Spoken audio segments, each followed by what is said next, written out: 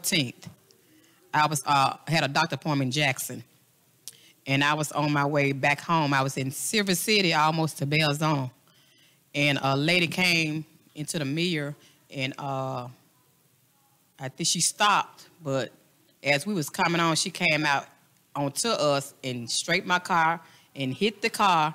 And when she, I heard, I heard a big boom.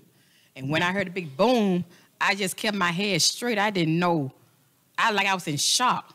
I didn't know what was going on. The car when she hit the the, the back of the, the uh, right side of the car, the tire when she hit that, I heard a big boom when she hit the car.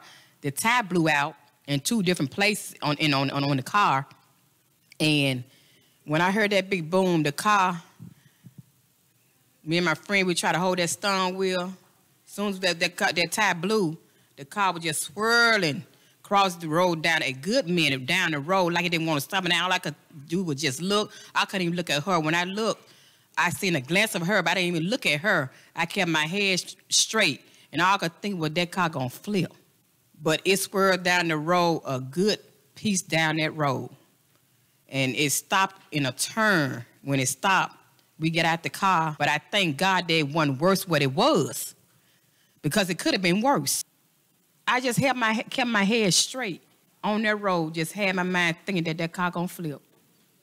But it didn't, but God, held, he held that wheel. And I thank God that I'm here standing here today, telling him how good he is.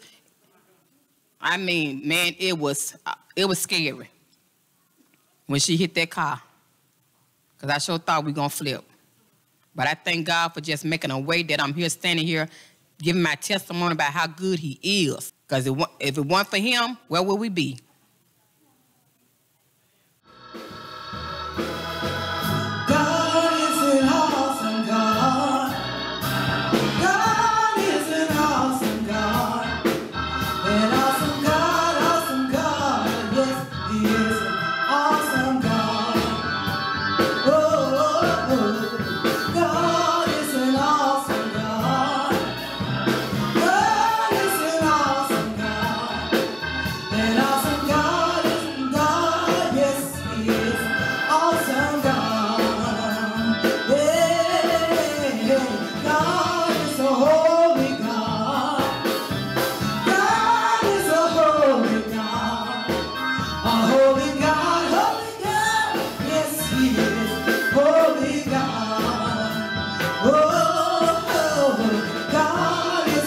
saving God.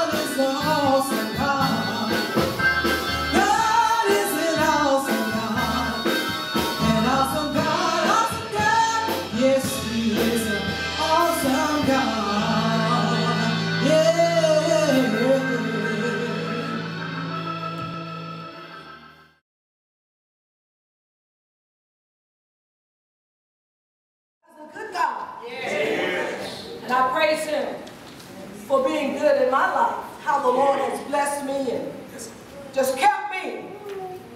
And I tell you, I honor him all today. I don't plan to be before you very long. I'd just like to talk about renewal of the inward man. Renewal of the inward, inward man. If you go to 2 Corinthians 4 and 16, that one verse I'm going to read. I have a couple more verses, but I'll read that one verse for now. That one verse says, For which cause we faint not, but though our outward man perish, yet the inward man is renewed day by day. The inward man is renewed day by day. The outward perish. But the inward man is the one that is very important. And when you think about renewed, renewal or renewed, think about restored, to make new spiritually, revived, to do again. So oftentimes we put a lot of emphasis on the outward man. That's the man that we can see. But what about the inward man, the man that we can't see? but God can see. Yeah. Now, the inward man, as I said, is very important. This scripture that I just read refers to the suffering of the apostles and their being overruled for the good of the church and the word of God. The outward man is our physical body.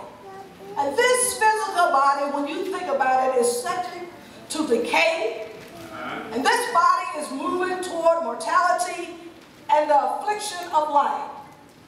The body, the outward man, is the mansion of the inward man. This body holds the inward man. The inward man, which is so important. The inward man signifies the mind or the soul. That living intellectual being which thinks and has a will and has a desire. Then what man is a human spirit as the inward person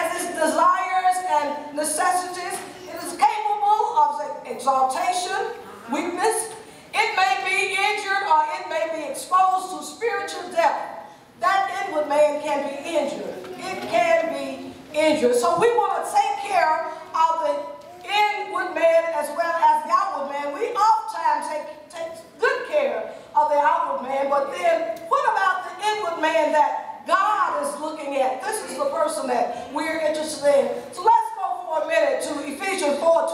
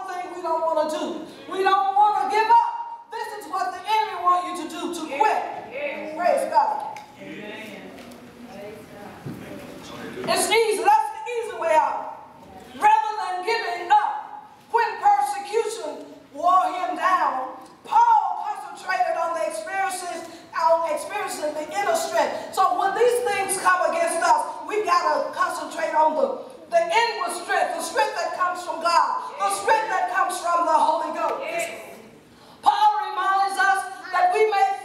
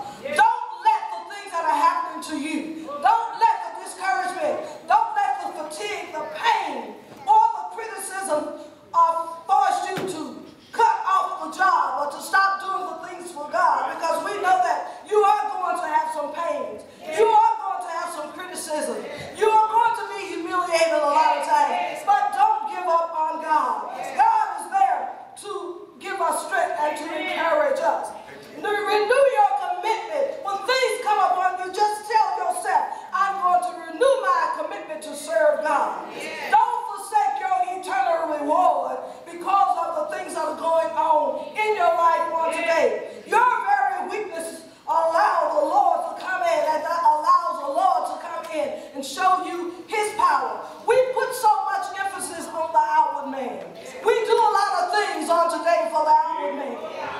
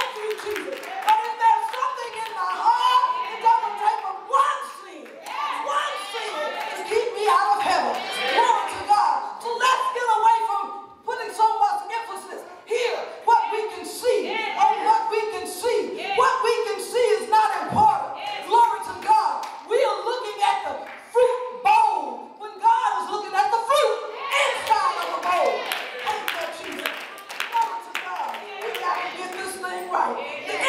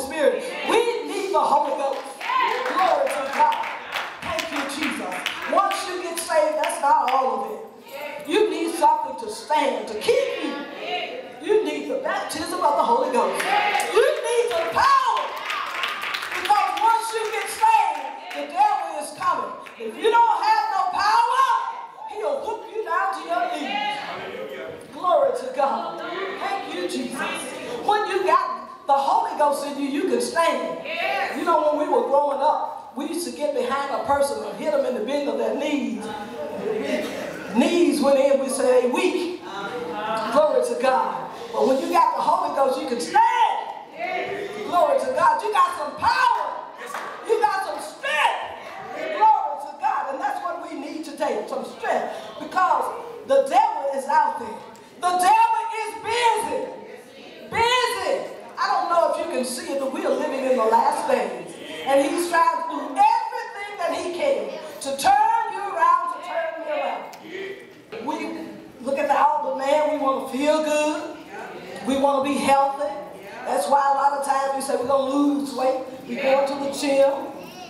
We do a lot of things. We go and have our nails done. Go and have our hair done. All of this is for the outward man. But what are you doing for inward man? What are you doing to be right with God? Because God is coming back and He's going to judge us. God is coming back and He's looking for holy people. What about the inward man that we can't see? I told you this is the one that God sees. What does God see when He look at us? I wonder, I wonder, is He pleased with what He sees? What does He see when He look at me? What does He see when He look at you? Does He see jealousy? I'm jealous of my sister, my brother. Does He see envy? Does He see foolish talk? Some people talk foolishness. They just, so I've been around some folks, nothing good. Okay, they just talk foolish. The talk is so foolish. So foolish that you don't even want to be around. Is that what He finds with us? If we're saved, we ought not be talking foolish. Are we disobedient? Do we give a lot, give out a lot of vain words? Are we hard-headed? Stubborn? Are we quick to get angry? Every little thing upsets you, make you angry, or do when you look at us, do you find evil speaking? Do you find the bitterness in us? These are things that should not be in us. It says renewal of the inward man. So we gotta let God work on the inner person. The inward person is the one that I want God to do something for. Well, ask God to come into my heart. Create a clean heart in me, Lord Jesus. Thank you, Jesus. And Ephesians 4 and 23 says, and be renewed in the spirit of your mind. Some of us, our minds need to be changed. We need to reset. back of mine. The 24 saying that you put on the new man, which after God is created in righteousness and holiness. Holy people. God is coming back looking for holy people. He says, for I am holy. And you ought to be holy also. Glory to God. Thank you, Jesus. Holiness means that you're not going to do your thing, but you're going to be following God's agenda. What God says. The word of God is right and it's right all by itself. I don't care what you say, what you do.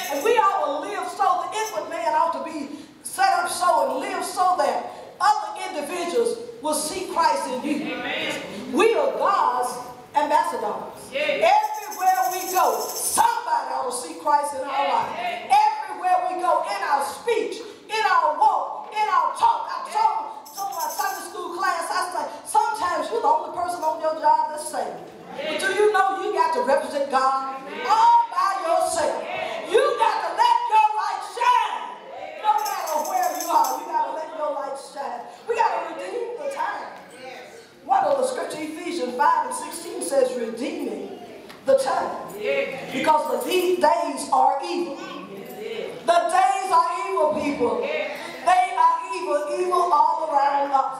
And you know what? Satan is getting it to the point he's trying to get us so that the things that are happening, he's trying to get us so that we get used to it. And then we won't say anything about it. But we can't get comfortable with evil. You can't get comfortable with doing wrong. I don't care where is in your household, you can't handcuff comfortable with you. God is going to hold us accountable. We are telling him today, the inward man, Lord Jesus, created me a clean heart.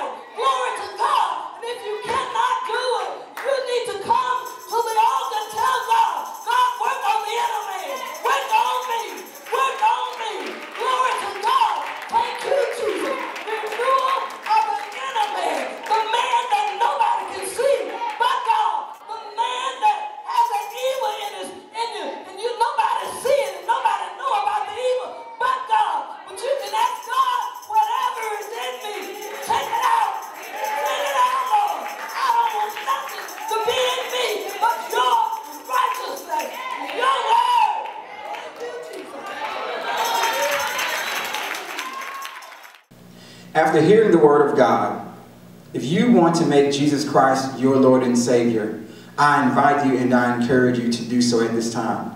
Just pray this prayer with me. Jesus, I believe you are the Son of God. I believe that you died on the cross for my sins, and I believe that you rose again. And Jesus, I pray that you will forgive me for my sins, and that you will cleanse me from all unrighteousness. In Jesus' name, amen. If you prayed that prayer with me, you are now my brother or my sister in Christ. And we are so happy and excited that you made Jesus Christ your choice. Let us hear from you. If you made the awesome decision to make Jesus Christ your Lord and Savior, we would love to hear from you. Use the information on your screen to contact us, and we will be praying for you. If you do not have a church home, we would love to have you into our fellowship at Jerusalem Temple. Just email us your name and your number, and a member of our ministerial staff will contact you with further information on how you can do so. If you would like to be a financial blessing to this ministry, keep watching for further information. Welcome to Jerusalem Temple, Church of God in Christ, located at 12 Elizabeth Road in the city of Leland, Mississippi, where our pastor is the Superintendent Roy Riley Sr. and our First Lady is First Lady Mazell Riley. Our motto is that we must decrease so that God can increase. We want to thank you for watching our service. Certainly, if you were blessed by the Word of God, please like, share, and subscribe to our YouTube and Facebook channels. Also, to be a blessing to the ministry, you may do so by one of the following ways. Through Givelify, Jerusalem Temple Church of God in Christ in Leland, Mississippi. Through PayPal at JT C-O-G-I-C at att.net. You may also use Cash App, dollar sign Jerusalem Temple, or you may mail your check or money order to P.O. Box 329, Leland, Mississippi 38756. God's richest blessing be upon you. Come and connect with us through prayer, word, and fellowship. Join us for any or all of our virtual services Sundays at 11:15 a.m. Central Standard Time on Wednesday night at 7 o'clock p.m. Central Standard Time via Facebook Live or YouTube. You know, something happens when we pray, when we pray together. Morning Manna is here every Monday and Thursday from 8 a.m. to 9 a.m. with our very own pastor, Superintendent Roy Riley Sr., and also Monday through Saturday from 12 noon to 12:30 p.m. with the prayer team. Feel free to join in with us by calling 605 313 5086. The access code is 647 891 pound. We ask that you would mute yourself and do not announce yourself on the call. Something happens when we come together for corporate prayer. Let's study the Word of God. Every Sunday, we have prayer and Sunday school beginning at 9:30 a.m. until 10:30 a.m. YPWW every Sunday night, 6 o'clock p.m. until 7 o'clock p.m on every Tuesday night, Bible study from 7 o'clock p.m. until 8 o'clock p.m. Come and join us. We have adult classes via Zoom video. ID number 432 331 0618. Or if you choose to Zoom in via phone call, that number is 253 215 8782. Also with the ID number 432 331 0618 pound. Again, We invite you to just come and let's study the Word of God, where we read, search, learn, and obey. We are just looking to connect with you. You'd like to study the Word of God too. Join us on Zoom every Sunday morning, 9.30 to 10.30 p.m. And Sunday nights from 6 p.m. to 7 p.m. Wait, don't forget about Tuesday night Bible study at 7 p.m. to t- till 8 p.m. We also have a really fun time on Real Talk Interactive and would love for you to come join in on the fun. Sometimes we do Bible trivia and games, and other times we have great discussions on how the youth can stay connected to God. We can't wait to welcome you when you come. See you there.